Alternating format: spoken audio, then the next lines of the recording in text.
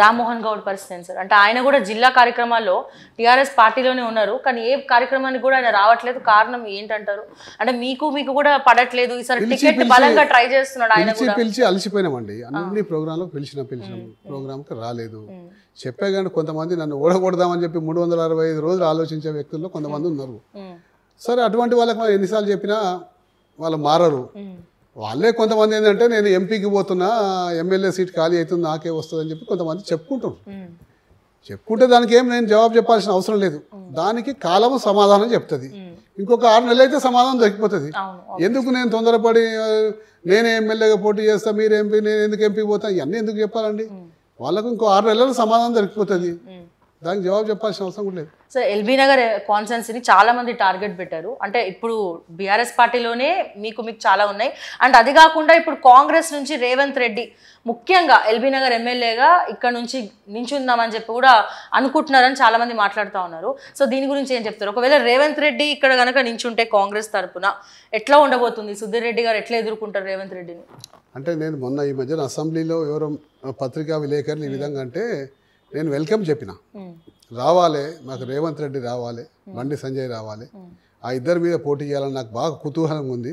నేను చేయాలని చెప్పిస్తున్నారు. వెల్కమ్ రానియండి అని చెప్పి చెప్పిన. ఉమ్, ఈ రోజు కూడా వెల్కమ్ చెప్తున్నా. రమ్మని చెప్పండి నేను పోటీ చేయమని చెప్పండి. మా ప్రచారం మేము చేస్తాం వాళ్ళ ప్రచారం మనం చేసుకోమని చెప్పండి. అండ్ ఇది ఇలా ఉంటే ఈ మధ్య సుధీర్ రెడ్డి గారు కేసీఆర్కి బాగా క్లోజ్ అయ్యారు. ఆ క్లోజ్నెస్ ఎందుకంత అంటే ఇంతకుముందు ప్రగతి భవన్లో ఎక్కువగా జీవన్ రెడ్డో లేకపోతే ఇంకెవరో కొంతమంది ఎమ్మెల్యేలు ఉండేటోళ్ళు. ఇప్పుడు ప్రతిదాని కూడా సుధీర్ రెడ్డి గారు ప్రగతి భవన్లో ఉంటున్నారు ఎక్కువసేపు కేసీఆర్ గారితో గడుపుతున్నారు. అండ్ ముచ్చటగా మూడోసారి సుధీర్ రెడ్డి కనుక గెలుస్తే ఈసారి హ్యాట్రిక్తో పాటు మంత్రి పదవి కూడా కొట్టేస్తారు. ఆయనకు కూడా అదే కావాలి అని చెప్పి కూడా మాట్లాడుకుంటున్న వాళ్ళకి మీరు ఏం సమాధానం చెప్తారు? అంటే ఏం లేదండి కేసీఆర్ దగ్గరికి నేను ప్రగతి భవన్కి నేను ఎక్కువ ఏం పోనండి ఎప్పుడు కూడా. నాకు పోవాల్సిన పరిస్థితులు ఏర్పడుతున్నాయి ఇప్పుడు.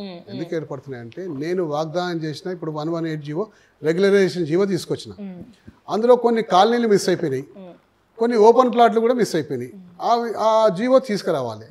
ఆ జీవో మళ్ళీ అమెండ్మెంట్ చేసి తీసుకురావాలి. నా దురదృష్టం కొద్దీ నేను మొన్న అంతా ప్రయత్నం చేసినాక చీఫ్ సెక్రటరీ గారికి చెప్పినాక నేను సీఎం గారు చెప్పింది చీఫ్ సెక్రటరీ. సోమేష్ కుమార్ గారు చెప్పిండ్రు చెప్పినాక రెండు రోజులకే ఆయన పదవి పోయింది. కోర్టులో ఏదో ఆర్డర్ వచ్చింది. చాలా మంది మొత్తుకుంటున్నారు కూడా ఫైల్ ఆగిపోయినాయి అని చెప్పి. కోర్టులో ఆర్డర్ వచ్చింది ఆయన పదవి పోయింది పదవి పోగానే నెక్స్ట్ ఒక వన్ వీక్ ఆగాల్సి వచ్చింది. కొత్త చీఫ్ సెక్రటరీ వచ్చింది.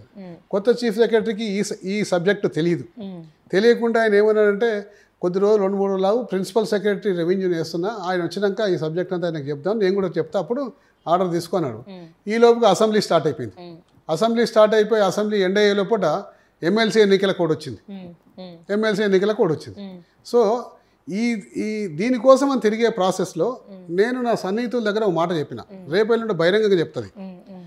నేను ఈ జీవోని అమెండ్మెంట్ చేసి అన్నీ తీసుకొచ్చి సక్రమంగా తీసుకొచ్చినాక నేను కాన్స్టిట్యూన్సీకి రావద్దని అనుకుంటున్నా. అని మా వాళ్ళకి చెప్పిన నేను. ఎందుకంటే నా కాన్స్టిట్యూన్సీలో ఉంటే ఏమవుతుందంటే అక్కడ నాకు ఆఫీసర్లు ఇచ్చే టైంకు ముఖ్యమంత్రి రమ్మన్న టైంకు నేను పోలేను. ఇక్కడ నా కాన్స్టిట్యూన్సీలో నేను ఉండాలంటే ఇక్కడ ఆల్రెడీ మా ఫిక్స్ అయిపోయి ఉంటాయి అన్ని అపాయింట్మెంట్స్. కాబట్టి ఈ అపాయింట్మెంట్స్ బ్రేక్ చేసి అటు పోవాలంటే నాకు కొంచెం ఇబ్బంది అవుతుంది. కాబట్టి ఒక వన్ వీక్ అపాయింట్మెంట్స్ ఇవ్వకుండా ఎవ్వరికి ఏమి ఇవ్వకుండా ఫుల్ టైం ఆడు ఉంటే వచ్చేస్తుంది అది ఆలోచన చేస్తున్నా.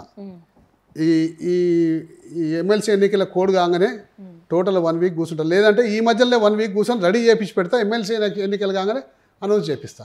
కానీ ఈ లోపుగా నాకు తెలిసింది ఏంటంటే మళ్ళీ ఏదో హైదరాబాద్ రంగారెడ్డి జిల్లాది కూడా మళ్ళీ ఎలక్షన్ నోటిఫికేషన్ వస్తున్నట్టు తెలిసింది మళ్ళీ. అవును. అది వచ్చిందా అండి? వస్తుందా? ఇంకా రాలేదు సార్ వస్తుంది. వస్తున్నట్టు తెలిసింది. మళ్ళీ అదొక తలకాది అదొక ఇరవై రోజులు వన్ మంత్ ఉంటుంది. ఓకే. సో ఈ అన్ని అడ్డంకులండి. నాకు నేను డిపార్ట్మెంట్ల చుట్టూ తిరిగి పని చేయించగలంటే నాకు ఫ్రీగా ఉంటే నేను ఎక్కువ పని చేయించగలుగుతా. ఫ్రీగా ఉండాలి నేను. ఈరోజు మార్నింగ్ ఉదయం ఏడున్నర నుంచి స్టార్ట్ అయితే అండి మాది రాత్రి పడుకునే వరకు నాన్ స్టాప్గా ప్రోగ్రామ్స్ ఉంటాయి ఇక్కడ. ఒకరు షాప్ ఇనాగ్రేషన్ అంటారు ఒకరు గుడికి రమ్మంటారు పొద్దున పూట మూడు మూడు నాలుగు గంటలు విజిటర్స్ ఉంటారు దాని తర్వాత ఇవన్నీ అనేక రకాల ప్రోగ్రామ్ ఉంటాయి. ఈ ప్రోగ్రాంలని బ్రేక్ చేసుకొని నేను సెక్రటరియట్ చుట్టూ ఆఫీసర్ చుట్టూ తిరగగలితే నియోజకవర్గానికి ఎక్కువ మేలైతే నాకు. నాకు తెలుసు అది. కానీ అది ఆర్గనైజ్ చేసుకోలేకపోతున్నా. ఇన్నేళ్ళ రాజకీయ జీవితంలో కూడా నేను అది కరెక్ట్ సెట్ అయితే లేదు. కాబట్టి నేను ఈ గట్టి నిర్ణయానికి వచ్చిన ఈ కొన్ని ఉన్నాయి నాకు. ఒక ఫ్లవర్ పార్క్ది ఒకటి ఉంది జీవో తీసుకురావాలి. ఈ వన్ వన్ ఎయిట్ జీవోలో కొన్ని మార్పులు చేసుకోవాలి అవి చేసుకొని రావాలి. ఇంకా కొన్ని మా దగ్గర కొన్ని బావులు ఉన్నాయి మెట్ల బావులు.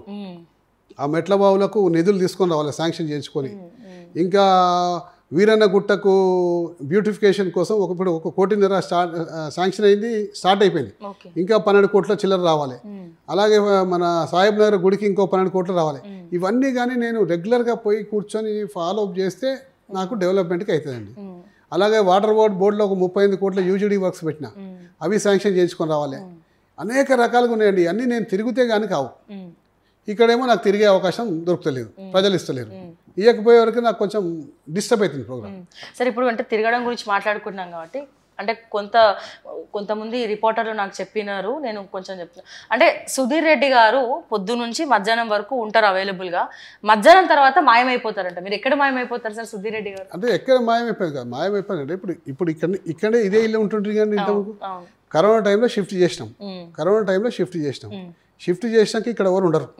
ఇక్కడ ఎవరు ఉండరు. ఓకే. ఇంతకుముందుకేమో అప్పుడు ఈ ఇల్లు కూడా మొత్తం రిపేర్ ఉంటుండే. రెండు మూడు గంటల దాకా పని చేసుకుంటుంటుంది. మూడు గంటల నుంచి మళ్ళీ సాయంత్రం ఆరు గంటల దాకా ఎక్కడ ఉండాలి నేను? ఎక్కడ ఉండాలండి? ఈ ఇంట్లో వచ్చే పరిస్థితి లేదు. ఇప్పుడు వచ్చే పరిస్థితి అండి. ఒక four five six months back లేదు. వచ్చే పరిస్థితి లేకుండా అంతా. మొత్తం ఇరగొట్టి అంతా చే- చేసి ఉండే. లేకుండా ఎక్కడ పోవాలండి అప్పుడు? ఆ టైంలో ఎక్కడైనా ఆఫీస్లో చుట్టూ పని చేసుకొని రావాలిగా? ఇవాళ ఈ ఇంట్లో కూర్చోగలుగుతున్నాం కాబట్టి మీకు వచ్చి కూర్చోబెట్టి ఇంటర్వ్యూ చేస్తున్నాము. అట్లా. అంటే వాళ్ళు ఏదైతే అనుకుంటారో అనుకునేది ఏవి కూడా నిజం కాదు. మధ్యాహ్నం పూట ఎప్పుడైనా వస్తే ఇక్కడే రెస్ట్ తీసుకుంటే ఇప్పుడు. ఒక టూ త్రీ అవర్స్ వస్తే రెస్ట్ తీసుకుంటే మళ్ళీ ఈవినింగ్ ప్రోగ్రామ్స్ అటెండ్ అవుతా. గతంలో అవకాశం లేకుంటే కాబట్టి నేను వేరే పనుల మీద ఉమ్. ఆ విధంగా అంతే. అయితే ఇందాక నేను చాలా యాక్చువల్గా రెండు క్వశ్చన్స్ అడిగాను సార్ ఎట్ ఏ టైం ఇంకోటి మెయిన్ ఏంటంటే సుధిరెడ్డికి మంత్రి అవ్వాలని చాలా కోరిక. మంత్రి అవ్వడానికి కొన్ని కోట్లు ప్రగతి భవన్లో పెట్టబోతున్నాడు అన్నది కూడా ఒక టాక్. సో దీని గురించి ఏం చెప్తారు? అంటే అంటే ఇదే ఇప్పుడు చెప్పేది అంటే బయట అనుకునే అనే- అనేక రకాలుగా ఉంటారు ప్రగతి భవన్లో ముఖ్యమంత్రి గారు కానీ లేకపోతే కేటీఆర్ గారు కానీ ఎవరైతే ఈ రాష్ట్రాన్ని డెవలప్ చేస్తారో విజన్ ఉందో వాళ్ళకు అర్హతను బట్టి ఇస్తారు కానీ డబ్బులతోటి మంత్రి పదవి ఎవరు కొనలేరు. ఫస్ట్ ముఖ్యంగా ఇక్కడ. కాంగ్రెస్ పార్టీలో సాధ్యమవుతుండేది ఇది టీఆర్ఎస్ పార్టీ బీఆర్ఎస్ పార్టీలో సాధ్యం కాదు ముఖ్యమంత్రి గారు కానీ కేటీఆర్ గారు కానీ ఈ రాష్ట్రాన్ని సమర్థవంతంగా నడిపించి కొత్తదనంతో ఈ రాష్ట్రాన్ని అభివృద్ధి పొందలకు ఎవరైతే తీసుకుపోయే కెపాసిటీ ఉంటారో వాళ్ళకి అవకాశం ఇస్తారు. ఇంకోరు కొంతమందికి ఆ అర్హత ఉన్నా కానీ ఈక్వేషన్లో దొరకదు కొంతమందికి. దొరికినా ప్రాబ్లం లేదు దొరకకున్నా ప్రాబ్లం లేదు దానికి ఏం చింత చేయాల్సిన అవసరం లేదు? నేను దాని గురించి మంత్రిగా అయినా ఇప్పుడు ఇక్కడ బీఆర్ఎస్లో మంత్రి పదవి ఉన్న ఒకటే లేకున్నా ఒకటే కదా సార్? వాళ్ళు ఏం చేద్దామన్నా మళ్ళీ కేసీఆర్ కనుసన్నల మీద నడుస్తుంది. తప్పండి. అదైతే ఇప్పుడు చూడండి ఎంతమంది మంత్రులు ఉన్నారు కానీ ఎంతమంది మంత్రులు ఎవరి డిపార్ట్మెంట్ వాళ్ళ కార్యక్రమాలు చేస్తూనే పోతున్నారు. అద్భుతమైన ఐడియాస్ ఎవరైతే ముఖ్యమంత్రి గారు తీసుకొస్తారో అర్ధ గంటలు జీవో వస్తుంది. ఇప్పటిదాకా ఈ రాష్ట్ర ప్రభుత్వాల నేను నైన్టీన్ ఎయిటీ త్రీ నుంచి ఎన్టీ రామారావు పీరియడ్ నుంచి మొన్నటి వరకు రెండు వేల పద్నాలుగు వరకు ముఖ్యమంత్రులను గమనిస్తూనే ఉన్నా. ఏ ముఖ్యమంత్రి హయాంలో ఒక మంచి పనికి అర్ధ గంటల జీవో వచ్చిన సందర్భాలు లేవు. కేవలం బీఆర్ఎస్ పార్టీలో కేసీఆర్ గారే ఆ జీవోలు తీసుకొచ్చేసి మంచిగా అనిపిస్తే ఇమీడియట్గా శాంక్షన్ చేసి జీవోస్ ఇస్తాడు. ఇక్కడనే సాధ్యం అండి అది. ఇంకెక్కడ సాధ్యం కాదు. ఎవరు చేయలేరు కూడా. ఆ రాష్ట్రం మీద ఇంట్రెస్ట్ ఈ ప్రజల మీద ఇంట్రెస్ట్ కేసీఆర్ గారికి కేటీఆర్ గారికి ఉన్నటువంటి ఉన్న ఇంట్రెస్ట్ ఎవరికి ఉండదండి.